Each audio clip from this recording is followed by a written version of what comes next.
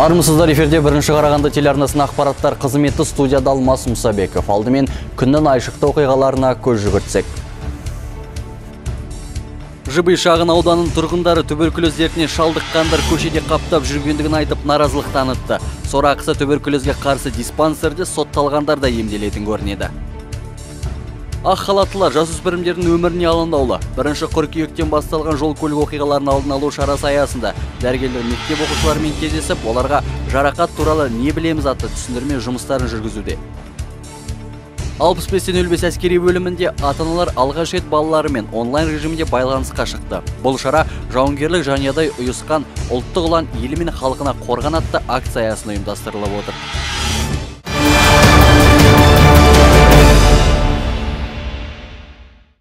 Қарағандыда туберкулез дертіне шалдыққандар көшенің қақ ортасында қаптап жүр. Үрей құшағында отырған тұрғындар тапатал түсте жайбыраққа жүретін науқастардың тіпті бетперде тақпайтындығын да айтады. Сорақысы халық арасында жібе деп аталып кеткен ықшам ауданындағы туберкулезге қарсы диспансерде сотталғандар да емделетін көрінеді. Мейрамгүл Салқынбаева толығырақ. Бұл ЖБИ ықшам ауданының іргесінде емес, дәл ортасында орналасқан облыстық туберкулезге қарсы диспансер. Ауруханада жұқпалы індеттен 500-ге жуық науқас емделіп жатыр. Оның 70 пайызын дерттің ашық түріне шалдыққандар құрайды. Жергілікті мектептен небәрі 300 метр жердегі мекеме тұрғын үйлерге де жақын тұр. Халықтың үрейін туғызатыны да сол. Өйткені ауруға шалдыққандар тапатал түсте бетпердесіз көшеде емін еркін жүреді екен енді сол адамдар осы жерде жүреді қалай болса солай кішкене енді былай тәртіп болу керек қой адам біз енді балаларымыз бар мына мектеп жақын мен осы ауруларды жиі көремін магазиндерде мынау автобустарда көремін Туберкулезбен ауыратын адамдардың көшеде емін еркін серуендейтінін медициналық мекеменің басшылығы да жоққа шығармайды. Бірақ тұрғындарға қауіп төндірмейді дейді. Өйткені айтуларынша коқ таяқшасын жұқтыра алмайтын науқастар санатына далаға шығуға рұқсат етілген. Ал жұқпалы індеттің ашық түріне шалдыққандарға аурухана табалдырығын аттауға қатаң тыйым салынған. Бұл жабық мекеме емес қой. Туберкулез таяқшасын бөлмейтін аурулар адамға зақым келтірмейтіндер олар мүмкін шығуға да болады Мәселе сол мүмкінде боп тұр. Ал жұқпалы індеті асқынып кеткендерді қырық маман мен төрт бейне бақылау камерасы күзетеді. Айналасындағыларға қауіп төндіретін емделушілер оқшауланған жерде жатып серуендейді дейді жауаптылар. Айта кетерлігі, ықшам ауданның қақ ортасындағы туберкулезге қарсы диспансерде жұқпалы індеттен емделуден бас тартып жүргендер де бар. Олардың саны 207-ге жетеді екен. Мейрамгүл Салқынбаева, Шалқар Алтынбеков, Дастан Шанин, бірінші Қарағанды телеарнасы.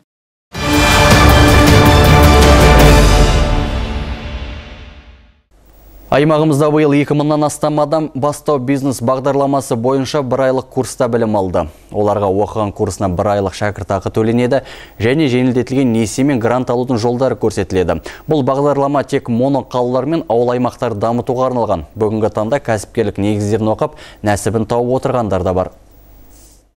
Назерке Мейізбекова Жаңарқа ауданында мал шаруашылығымен айналысқысы келеді. Ол бастау бизнес бағдарламасын ғаламтордан біліп, кәсіпкерлік бойынша оқуға келген. Бүгінде бағдарлама аясында оқып жатыр. Болашақта мал өнімдерін саудаға шығаруды көздейді. Сабақ барысында біз мақсат қоя білдік, сол мақсатқа жету болды.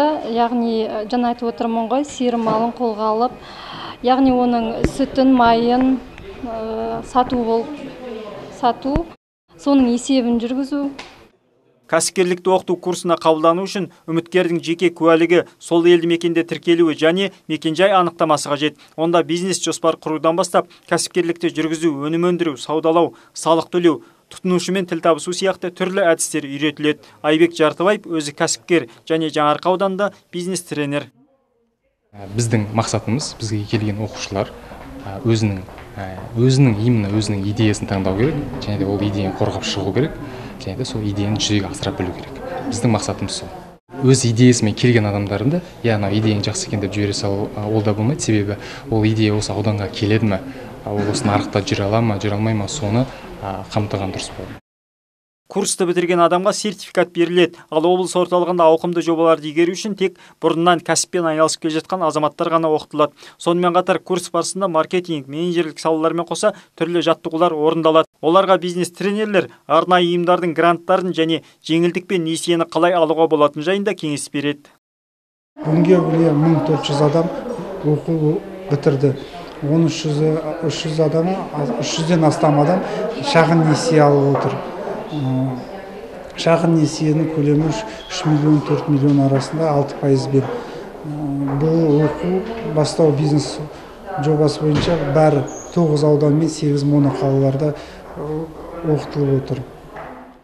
Жыл сайын бастау бизнес бағдарламасы аясында оқуға өтініш берушілер де қаржы көлемі де көбеюде. Сонымен қатар қарағандылық кәсіпкерлер палатасы сандық технологияға сатылап көшіп цифрлық бағдарлама бойынша халыққа қызмет көрсетпек.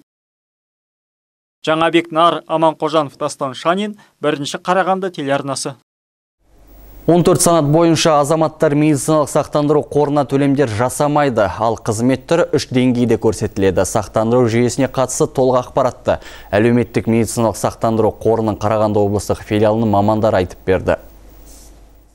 Қазақстандықтар 2020 жылдың бірінші қантарынан бастап сақтандыру жүйесінің бірыңғай қорына жарна төлей бастайды. Аударымдар орташа айлық жалақының 4 пайызын құрайды. Мемлекет 14 санатқа кіретін азаматтарды тегін сақтандырады. Бұл топқа балалар, студенттер, көп балалы аналар, декреттік демалыста отырғандар, жұмыссыздар, жүкті әйелдер, зейнеткерлер, ардагерлер, мүгедектер және сотталғандар кіреді.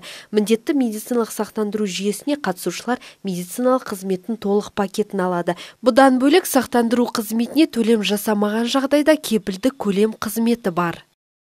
С 1 января 2020 года предполагается, что медицинская помощь будет оказываться в три уровня. 2020 жылдың бірінші қаңтарынан бастап медициналық көмек үш деңгей бойынша қарастырылады деп жоспарлануда. Бірінші деңгей тегін медициналық көмектің кепілді көлемі. Бұл қажетті әрі минималды пакет. Оған төтенше және шұғыл жағдайлар, жедел жәрдем, санитарлық авиация кіреді. Медициналық сақтандыру жүйесіне кірмеген кез келген адамға көмек көрсетіледі. Төлем жасамаған жағдайдың өзінде де пакет алуға құқығы бар ал екінші деңгейдегі пакетте сақтандырылған адамдар кіреді бұл медициналық көмек азаматтардың өмір сапасын жақсартады Сонымен қатар үшінші деңгейде бар ол қосымша ақыға медициналық қызмет көрсетуді көздейді. Бұл санатқа тіс емдеу мен косметология саласындағы қызметтер кіреді. Естеріңізге сала кетсек, 2017 жылдың шілдесінен бастап медициналық сақтандыру қорына аударымдар басталды. Айжырқын Сейсен, Шалқар Алтынбеков, Дастан Шанин, бірінші Қарағанды телеарнасы. Ақ халаттылар жасөспірімдердің өміріне алаңдаулы. Бірінші қыркүйектен басталған жол көлік оқиғаларын алдын алу шарасы аясында дәрігерлер мектеп оқушыларымен кездесіп, оларға жарақаттар туралы не білеміз атты түсіндірме жұмыстарын жүргізуде. Нөмірі 10 жалпы білім беретін орта мектепте өткен дәріске мектеп оқушыларымен қатар білім ордасының мұғалімдері де қатысты.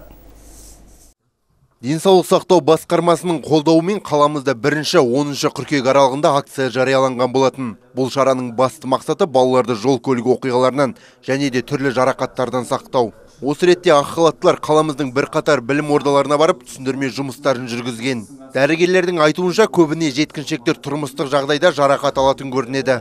Сол себепті ақ халаттылар балаларға жолдан өткенде және де үй жағдайында абай болуға кеңес береді.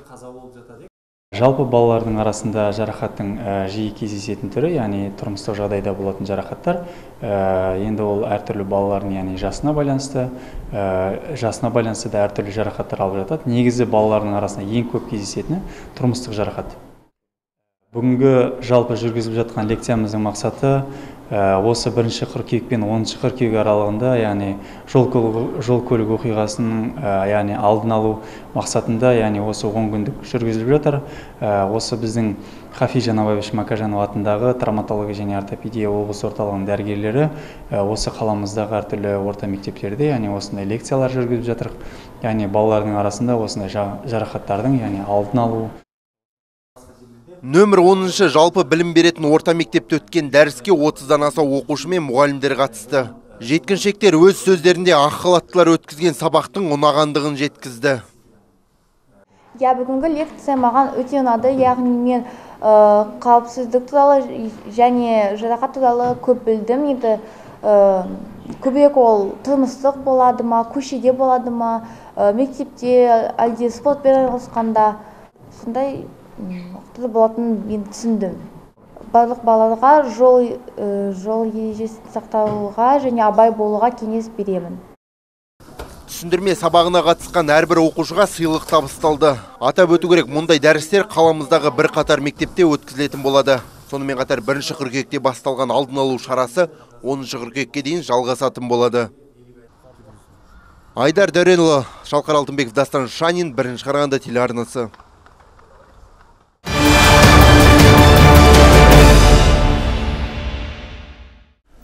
Ал Қарағанды облысынан әскер қатарына шақырылған сарбаздардың ата-аналары балаларымен бейне байланыс арқылы тілдесуге мүмкіндік алды. Аталмыш шара қаламыздағы 65-05 әскери бөлімінде ұйымдастырылды. Кездесуге келгендердің қарасы қалың болды. Сондай-ақ шара барысында қалдықсыз қызмет атқарып жүрген сарбаздардың ата-аналарына алғыс хаттар табыс етіліп, арнайы экскурсия ұйымдастырылды. Бүгінде облыста ат, облыстан аттанған мыңнан астам сарбаз еліміздің әр өңірінде өздерінің азаматтық борыштарын өтеп жүр. Сынок, привет! Я горжусь тобой! Все, прошу, прошу сесть. Все, прошу сесть. Мы продолжим дальше. Продолжим. Осылайша еліміздің басқа өңірінде әскери борышын өтеп жүрген қарағандылық сарбаздармен онлайн байланыс өте әсерлі болды. Кейбір ата-аналар тіпті көз жастарын тыя алмады. Себебі әке шешенің көңілі ұлдар үшін әрқашанда алан. Сондықтан оларға балаларын көріп әскери қызметтері туралы ақпарат алуға жол ашылды. Сарбаз болып ерекше көзге түскен жігіттердің ата-аналарына алғыс хаттар да табысталды. Солардың бірі Сәтбаев қаласынан арнайы келген Алмаз Байсарин. Айдар есімді ұлдары Петропавловскідегі 66-37 әскери бөлімде азаматтық борышын өтеуде. Аттанғанына небәрі төрт ай болса да, өзін жақсы қырынан көрсете білген. Бір минутқа жетер жетпес әңгімелескен атана дән риза. Мен Қазақстан Республикасы азаматы қарулы күштердің қатарына кіре отырып, Петропавл қаласында 66-37 бөлімінде әскери борышын өтеп жүрмін. Әке, шеше, анам, уайымдамаңыздар, менде бәрі жақсы. Отан алдындағы борышымды аман есен атқарып, сіздерге ораламын. Еш уайымдамаңыздар, менде бәрі жақсы.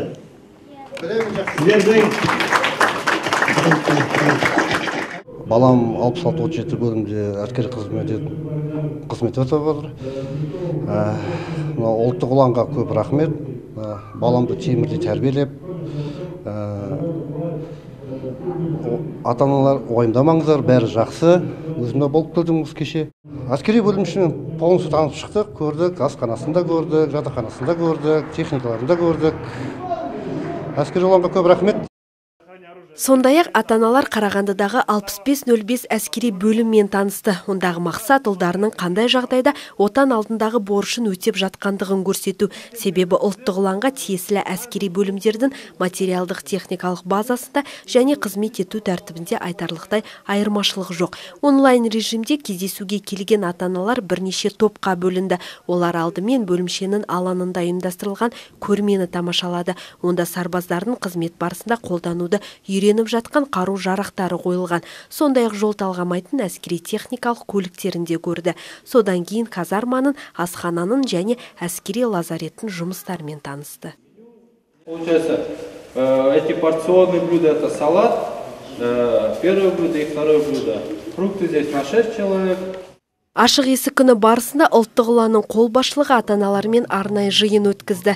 Ондағы мақсат сарбаздардың көңіл күйі мен оларды және жақындарын толғандыратын мәселелерді ортаға салу. Бұдан бөлек бөлімшеде әйел кеңесі жұмыс жасайды. Ата-аналар тарапынан қандай да бір сұрақтар немесе мәселелер болса аталмыш кеңеске жүгіне алады. И бүгін біз әдейілеп осы қарағандыда осындай ашық есік іс шараларын өткізіп отырмыз сіздер өзіңіз жаңа куә болдыңыздар осы жерде біз ана күллі әскер бөлімді көрдік. Олар көрді өз сарбаздары оның балалары қалай тұрады.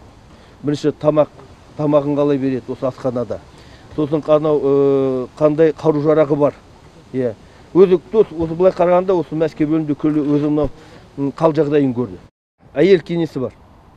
Осы әскер бөлімдерде. Олар мәске әке аналары бізден сескеніп анау басқалар келмесе сол әйел кеңесіне келіп олар андай мындай жағдайларын айта алады. Осылайша ата аналар балалар қызмет атқарып жатқан әскери бөлімшелердің жұмысымен етене танысуға мүмкіндік алды. Айта кету керек осындай ашық есік күндерін әскерилер енді тұрақты түрде өткізіп тұруды көздеп отыр. Айжарқын сейсен жасұлан мақұлбеков дастан шанин бірінші қарағанды телеарнасы.